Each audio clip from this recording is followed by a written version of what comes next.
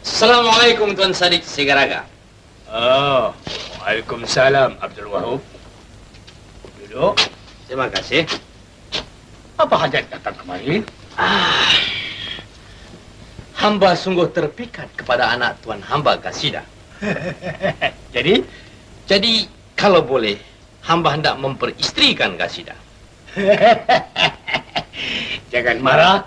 Tuan hamba tak boleh peristrikan anak hamba kerana kedudukan tuan tidak setara dengan hamba.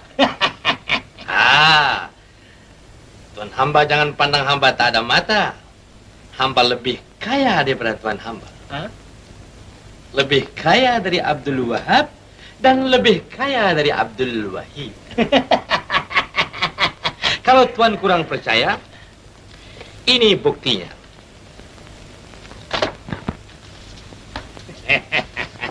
Ai, harta Ismit di luar negeri.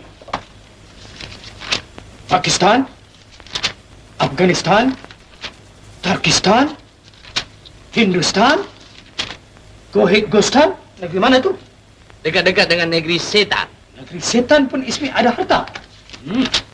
Kongostan, Kitistan, Popostan, Tanjung Rambutan. Ha, kaya, kaya, kaya. Ananda Abdul Wahab, Ayahanda minta maaf. Ananda boleh kahwin dengan anak Ayahanda. Tapi dengan satu syarat. Apa syaratnya? Jikalau Ananda marah, Ananda akan dijual. Dan harta benda semua Ayahanda rampas. Oh, itu jikalau anak anda marah. Ya. Jikalau ayahanda pula yang marah, Ayahanda marah tak ada apa-apa. itu namanya perjanjian berat sebelah. Anak anda sendiri ada membawa surat perjanjian. Dalam surat ini mengatakan, jikalau anak anda marah, anak anda akan dijual seluruhnya.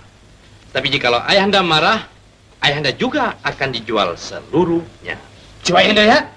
Boleh?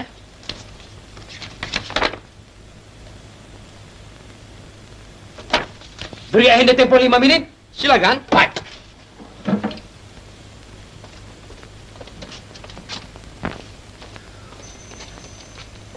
Apa kata Tuan Penasihat? Kita sign atau tidak? Saya rasa lebih baik kita sign. Sebab Abdul Wahab dan Abdul Wahib begitu pia pandai kita jual. Ini apa? Abdul Wahab budak mentah. Ah, betul, betul. Kalau perkara ini berhasil, saya akan beri 25 persen. Sign, jangan takut. Baik. Ayahanda Abdul Wahab, Ayahanda bersetuju. Bagus. Kalau setuju, mari kita sama-sama sign kontrak ini. Ya. Bagus.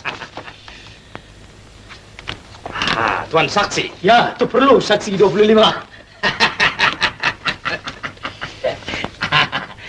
Ananda Abdul Wahab, Sayang. selepas daripada menandatangan ini, kalau kiranya terdapati apa-apa, Ayahanda minta halal. Begitu juga Ananda eh, minta halal dari dunia sampai akhirat. ya, 25. 25. Ya, Apa yang 25? Ananda kawin 25. Ya, Ya.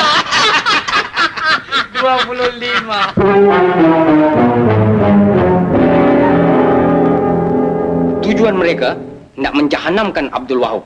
Tetapi tak boleh. Abdul Wahab mempunyai fikiran yang bijaksana.